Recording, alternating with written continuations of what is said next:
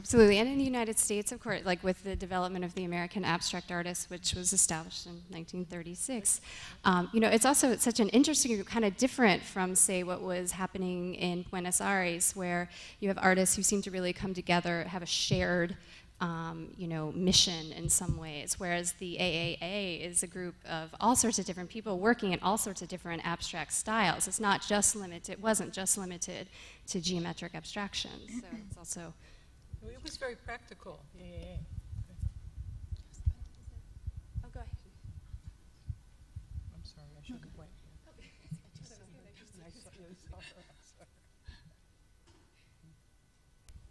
You certainly didn't have to stop your comment for the microphone to make its way across the room. Um, not to be heretical, but but it occurs to me that um, you know if if Lygia Pape's life is is somewhat circuitous in the way that she pursues her interests, or if Biederman's career starts and stops, uh, as well, or if uh, the Madí start and then move on to other things, that it points out not so much about the artists or their creative progressions, but more the limitations of historical methods, and that these are just organic processes and the evolutions of lives.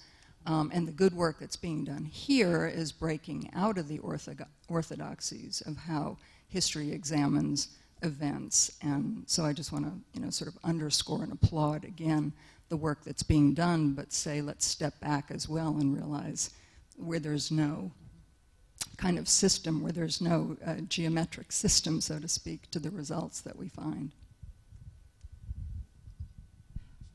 Yeah, I mean, I, I think um, one of the things, Monica, that uh, just came to mind when you were speaking um, was, you know, in, in this country, uh, really beginning in the 30s, there was uh, a lot of institutional support for certain artists, especially from the Museum of Modern Art.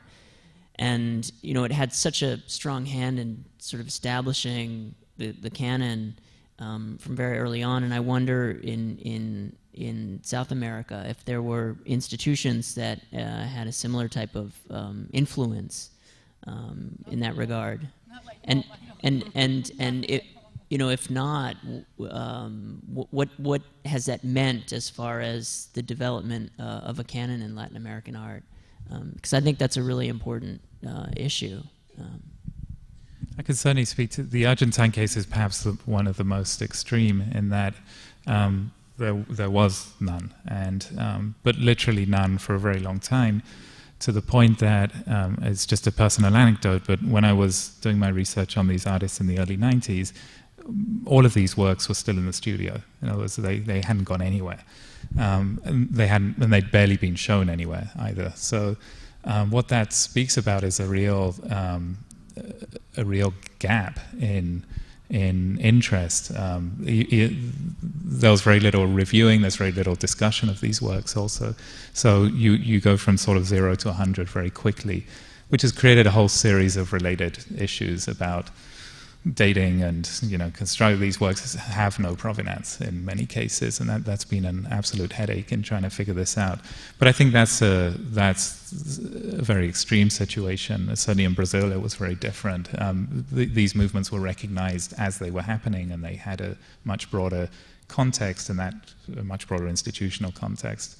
Um, Argentina is a case where it's only in, really in the last few years that there's been a, a, an understanding or an acknowledgement of these particular movements. It's a very interesting case.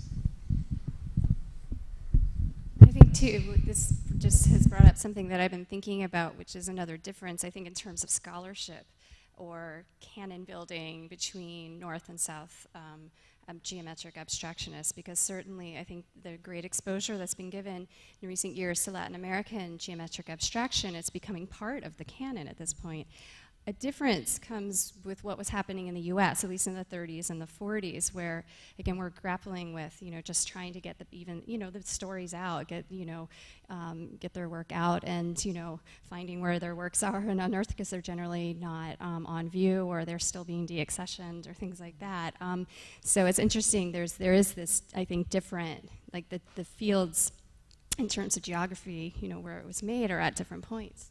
But you know, but- that's it, it's totally. I mean, goes back to the issue of institutional, you know, development because here the Americans have to, you know, the, the geometric abstraction of the 30s and 40s, the work that was produced during that time, is overshadowed by abstract expressionism and minimalism, and so it it it, it has been much harder for that group than, let's say, the geometric abstraction in South America to, you know, come alive in, in a way. And, and it goes back again to, to many ways to MoMA because, I mean, in the 1936 Cubism, an abstraction show, Alfred Barr said, no, you know, you, will you know, you're not included, we'll take your money, Gallatin and Shaw, but, you know, we're not going to include your work in, in the show. The Whitney did that, which actually wasn't even true, that the It- Whitney yeah. had only sho- hadn't shown Well, the works of these artists. And if I'm not mistaken, and Susan, you can um, correct me if I'm wrong, I think um, Morris and maybe Gallatin even sat on the exhibition committee Yes, at. MoMA. Yes, they did. Um, And you know, when, if you read the catalog of the 1935 Whitney show,